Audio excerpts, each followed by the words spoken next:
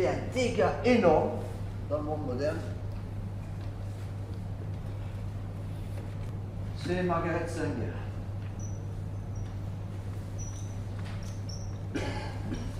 Important de voir, ce sont tous des femmes. hein. Pourquoi? Parce que les femmes sont capables du meilleur et du pire.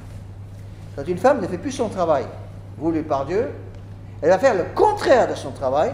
Et une femme qui perd la foi et qui utilise son intelligence et son sixième sens que Dieu a donné aux femmes, va faire beaucoup plus de mal qu'un homme qui perd la foi.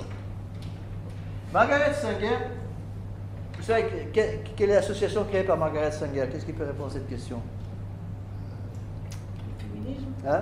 Féminisme? Non, il y a une, une association spéciale. Hein? Planning familial. Planning familial, exact. Planning familial, c'est Margaret Sanger. Bon. Margaret Sanger a été utilisée par le Nouvel Âge, et par toutes ces idées que je vous ai expliquées, pour introduire dans la femme chrétienne la mentalité contraceptive. C'est elle qui a fait ce boulot.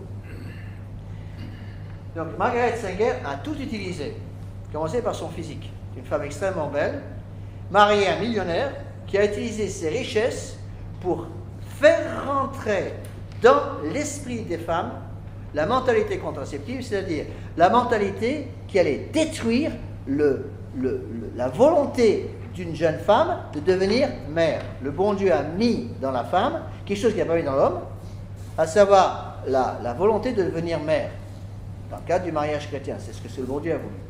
Donc, par le planning familial, il fallait détruire cet esprit maternel et transformer la femme pour que la femme ne soit plus la cellule de base de la société et la cellule de base de la famille. Transformant la femme par la mentalité contraceptive, on allait donc introduire des femmes qui ne voulaient plus être mères.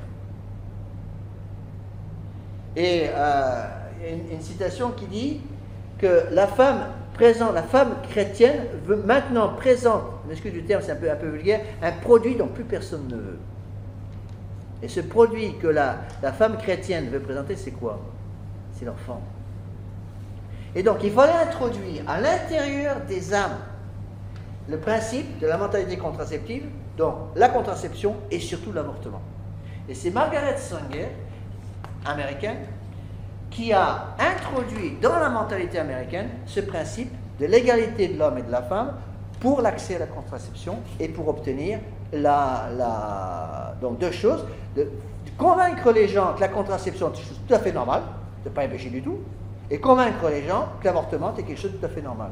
Donc système dont je vous ai déjà parlé avant, de réincarnation, on change complètement les principes. L'Église catholique vous a dit au temps de l'âge du poisson que la contraception artificielle était pécamineuse, que l'avortement était un crime. Nous, nous vous disons dans l'âge du verso, dans le nouvel âge, que la contraception est une chose bonne, la- l'avortement est une chose bo- bonne aussi, parce que ça va donner la liberté à la femme. Vous étiez maintenu dans l'esclavage par la société de l'âge du poisson, la société de l'âge du verso vous rend votre liberté. Ça, c'est le principe de Margaret Sanger.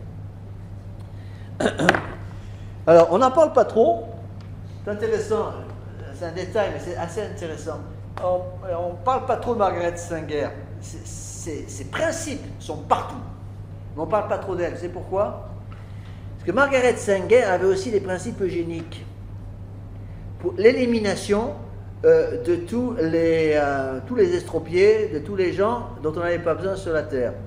Ça faisait un peu trop, un peu trop désordre dans la société juste après la, juste avant la deuxième guerre mondiale, juste après la deuxième guerre mondiale, parce que ça rappelait euh, Margaret, Margaret Sanger avait beaucoup trop les idées d'Adolf Hitler sur ce sujet. Alors, comme Adolf Hitler passe pas trop bien à la société moderne, donc on n'en parle pas trop. Mais les principes de Margaret Sanger sont toujours là. Donc, si vous voulez, Margaret Sanger est au planning familial ce que Annie Besson est au scoutisme.